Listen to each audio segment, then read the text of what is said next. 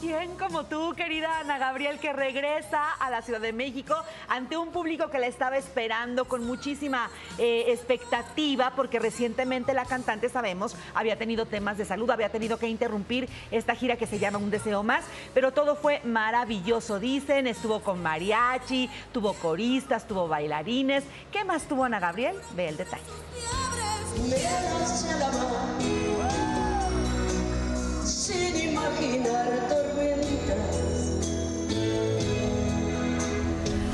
Luna de América iluminó, cautivó y se apoderó del coloso de reforma. Ana Gabriel regresó a México y así hizo notar su presencia en Tierra Morena.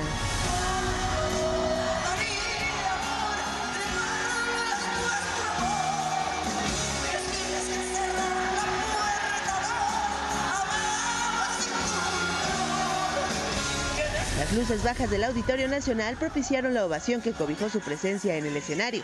8.38 de la noche, la celebración por cinco décadas de trayectoria artística comenzó y Un Deseo Más Tour 2024 se convirtió en una ensordecedora realidad bajo los acordes de Esta Noche. Esta noche tengo para ti, Mil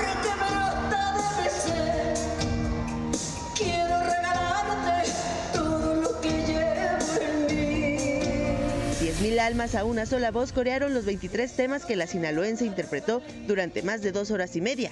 Soy como quise ser, Cosas del amor, Ni un roce y Evidencias fueron apenas los temas de entrada que calentando motores y poniendo a tono la garganta, anticiparon la interpretación de temas como Mi talismán, No entiendo, Tú lo decidiste, El cigarrillo y Luna, por mencionar algunos de los éxitos que hicieron de la primera presentación de cinco contempladas en el calendario de la gira en la Ciudad de México, un rotundo éxito.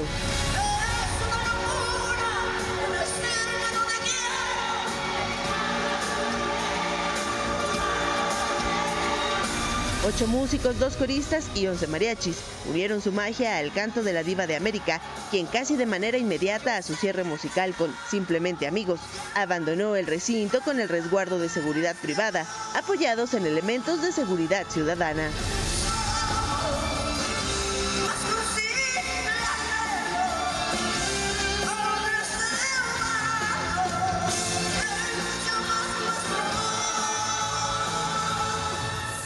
Qué padre, qué deleite. Yo de verdad que me maravilla porque, o sea, éxitos de toda la vida. y, que además eh, sabíamos hace meses estuvo muy mal con una pulmonía, entonces viéndola ahí, eh, dándolo todo con una voz ya recuperada, viendo cómo son varios, cinco conciertos, cuatro conciertos, no sé. Cinco. Pero, cinco para estas cinco décadas y que cantaba la gente con una emoción y un es fervor. Que ya se nos hacía que no venía, qué bueno que está bien. Y además son las del karaoke, la verdad. Yo, yo eh, nunca he ido a un concierto de ella, voy a ir apenas para vivir la experiencia, a ver qué se, qué se siente, vámonos, para ver qué se siente y este y ver cuál es el show, porque me imagino que la magia la tiene, tan es así que sus fans mueren por los conciertos, pues ahora yo me voy a sumar a ver qué. Yo quiero escuchar esa de Hice bien quererte. Ay, no, no, qué pasa. Todas, muy bien. Felicidades y qué para los que han ido y ya nos contarán el lunes cómo vivieron lo del viernes. Pero vamos otra vez con Wonders Lovers porque reaccionó a este supuesto acoso, porque así hay que decirlo, no lo podemos asegurar, que eh, Juan Carlos Casasola emitió a Gomita o oh, abusó tal cual de, acosó, a Gomita, ¿no? Entonces ella dice, mm, me parece extraño porque Gomita era menor de edad, entonces nunca vino a guerra de chistes. Revelaciones, comentarios, chismes o acusaciones. Usted tendrá la última palabra de lo dicho por Gomita en contra de Juan Carlos Casasola. No, hace programa. Yo te tengo el chisme de los de guerra, güey, conmigo. En. Ay, Dios, ay, ay este, el pelón, Casa Sola, cuando iba a cumplir 18 me decía que se switch la gomita. Me incomodó un... Fue, muy incómodo. Ante tal señalamiento, la Wonders Lover, quien fue parte fundamental del elenco de Guerra de Chistes, opina.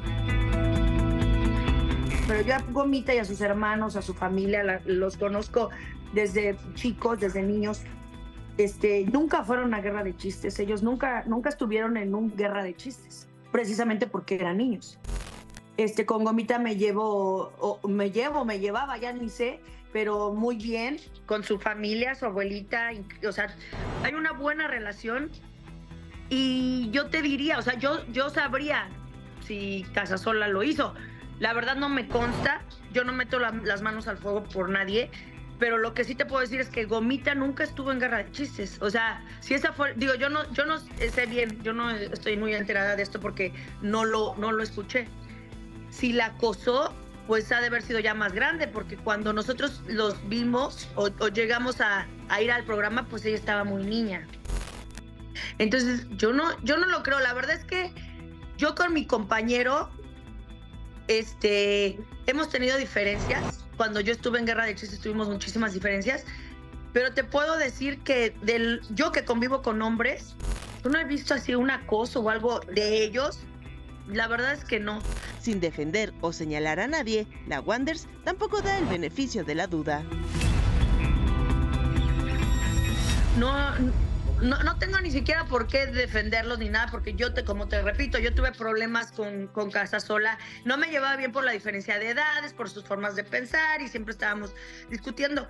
Pero acoso, acoso, como, como tal lo, me lo estás diciendo con esa palabra, realmente yo no estoy enterada, ni creo que mis compañeros, ni Casasola, ni Radamés, ni el Borrego, se presten a algo así porque tienen familia. Pero, este, pues quién sabe. Como te digo, yo no meto las manos al fuego por nadie, pero estoy dando mi punto de vista de lo que yo viví. Y Gomita estaba muy chica, muy niña cuando este, nosotros la llegamos a ver en, en un show o algo así, pero jamás pisó guerra de chistes como para que ella fuera al programa o algo así. No, nunca. Entiendo la postura de, la Wonders Lovers porque ella habla bien de sus compañeros, da su testimonio de cómo ella ve que se, que se manejan ellos, pero creo yo que la polémica no es si Gomita estuvo o no en Guerra de Chistes. Gomita está dando un testimonio que pues yo debería inicialmente creerlo hasta que no se demuestre lo contrario, porque ella dice, habla de una situación de acoso, ella lo dice. Ahora, no nos consta ni a la Wonders Lovers, ni a mí, ni a nadie. En todo caso sería Gomita y el involucrado que es Casa Azul. Que eh, efectivamente sí Gomita nunca fue a Guerra de Chistes, pero Guerra de Chistes sí fue todo el tiempo a Sabadazo. Les recuerdo que ya dentro del programa yo era quien invitaba a toda la parte artística. A mí me tocaba llevar a Guerra de Chistes y me pedían por lo menos una vez al mes tener a alguien del elenco de Guerra de Chistes, tanto Alexis Núñez como Xavier Rodríguez, que eran los productores, me pedían tener siempre o al Borrego o a Casasola y sí, Casasola hacía rutinas de chistes muy manchadas, parte de la rutina y seguramente lo que dice Araceli es que en algún momento le dice que quiere la gomita.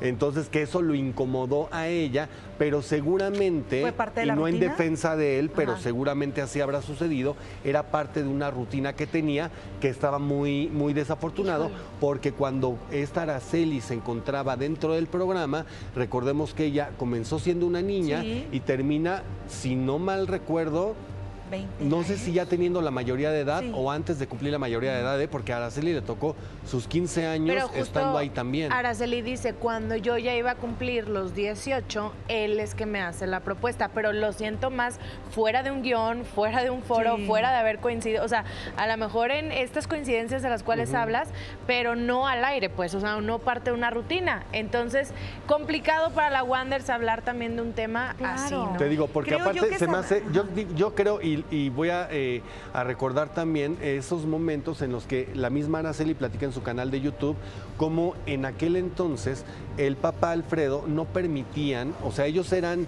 estar en el foro y de ahí irse al camerino, camerino, camioneta. O sea, él sí los cuidaba mucho ahí, sí debo de, reconocer en no tener contacto con nadie, porque, a ver, al programa iban puros gruperos y de repente a Araceli le gustaba mucho la música grupera y los gruperos era de, ay, Araceli, te invito, no sé qué, y, y era, no, no, ella misma lo cuenta, mi papá no me permitía entablar conversación con ellos porque era llevarme y órale, para el trabajo, para el circo, para esto.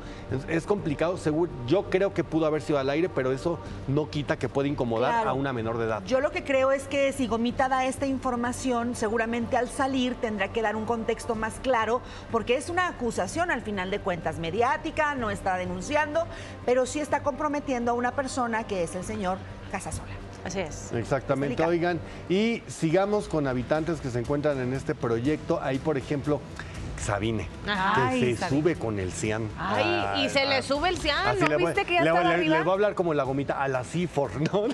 no, que fea palabra, quítenla. No, no, no. este, se suben a la suite y entonces ahí le platica a Sabine mientras coquetamente se está desmaquillando ella, eso es invención mía, pero ella le dice que tuvo una experiencia muy fuerte, pues fue a dar un centro de rehabilitación, vea. Y bueno, uh. Sabine, en rehabilitación, ¿qué es lo que se está diciendo de esto? A esto levantó muchísima ámpula porque en efecto era algo que, que no estaba muy público. Vean ustedes lo que dice. Yo no sé si me van a desmentir, pero creo que esta parte tan difícil se la comentó a Gustavo Adolfo Infante. ¿eh? John Lavá no lo, no lo recuerdo, pero qué bueno que lo traiga otra vez al tema porque creo que este proyecto por lo menos de lo que ha permitido hablar ha sido de la salud mental y también quitarle esta marca para una persona que carga con una depresión, está enferma, está no sé qué. Está incapacitada, no, puede a ver, no estás incapacitado, es algo que uno no decide ponerse, no es como que decidas hoy me he visto de gris y mañana de verde, o hoy quiero el pelo rubio, mañana café, o sea, no, es algo que te toca, con lo que tienes que luchar pese a que tú no quieras y que definitivamente hay que pedir ayuda, hay que hablar y, qué bueno que Sabine diga que centros como estos no solamente es para gente que tiene adicción a sustancias, o al alcohol, sino también a cosas emocionales. ¿Cómo tiene que ser tratada igual la codependencia, o sea, la adicción a una persona? O sea, el efecto que te da con las sustancias es bastante similar, por lo tanto debe ser tratado de igual forma con los especialistas y bueno, como que entre palabras, o sea, daba claves de pronto, pero pues entendió de lo que estaba Yo lo que entiendo es que ella se está refiriendo al padre de sus hijos, el señor Jorge Peralta, que generó muchísimos fraudes, eh, fue acusado de por varias personas. Ella incluso tuvo que solventar, o sea, hacer el frente a varios de estos, incluso con, con Sherlyn, que era por más de 4 millones de pesos en su momento. O sea, ella estaba comprometida a dar la cara, a resolver lo que esta persona iba deshaciendo y creo yo que es parte de, en su momento esperemos que al salir ella lo quiera compartir, porque si ella lo está haciendo frente a las cámaras, puede pasar que después ya no quiera, pero es parte de lo que ella ha hecho público.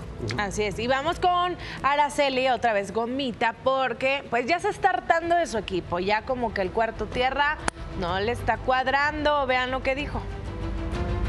¿Quién tiene ahí estrategia, Gomita o Karina? Ah, ya pues, no le creo, la Gomita es tramposa. Ya, y, mira, ya había sacado mi banderita de Gomita, este, hay un cambio. Claro, no, otra vez. Otra vez, la acaban, porque la acaban de cachar haciendo señas de a quién va a nominar y cuánto les va a dar. otra vez, ¿qué no entiende que las trampas no, son buenas? Ayer le ponen un video para decirle mentirosa, ¿para qué andas ahí? Y de todas maneras sigue. Pero mira, te voy a decir que pero esto sí puede ser real. ¿Por qué? Porque se está dando cuenta que el otro cuarto realmente es más fuerte entonces, como es astuta, le conviene irse para el otro lado, a menos que le quiera estar sacando pues la sopa a Karime, pero Karime y el cuarto tampoco, este, o sea, tampoco son tan inocentes, ¿verdad? Ellos dicen, nos traemos a Sabine, en una de esas puede ser también nos traemos a Gomita. Ahora, yo creo que la persona y los desarmas. Tiene que tomar en cuenta una cosa, la persona que se vaya al otro cuarto es la primera en sacrificar de ese cuarto. Sí, pues es, La, es la persona más débil. Sí y no, porque también, a ver, Gomita le gira no tanto como ella cree de que aquí es un hitazo y que los seguidores la van a sacar porque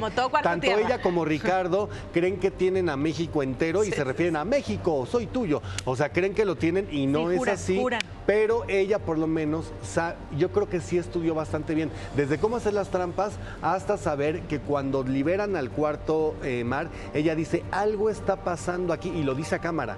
Dice, algo está pasando aquí que yo no estoy viendo, creo que no estoy jugando el juego de la manera adecuada. Y como ella lo ha dicho tantas veces de que es un juego individual y en un reality pasado ella decidió cambiar de un momento a otro de equipo, aquí haría lo mismo, ¿eh? Porque al final ganar es individual y si se va a amar, Sería más tiempo de vida, pero vuelvo al punto, sería la persona de ese cuarto al que llega la primera en sacrificarse.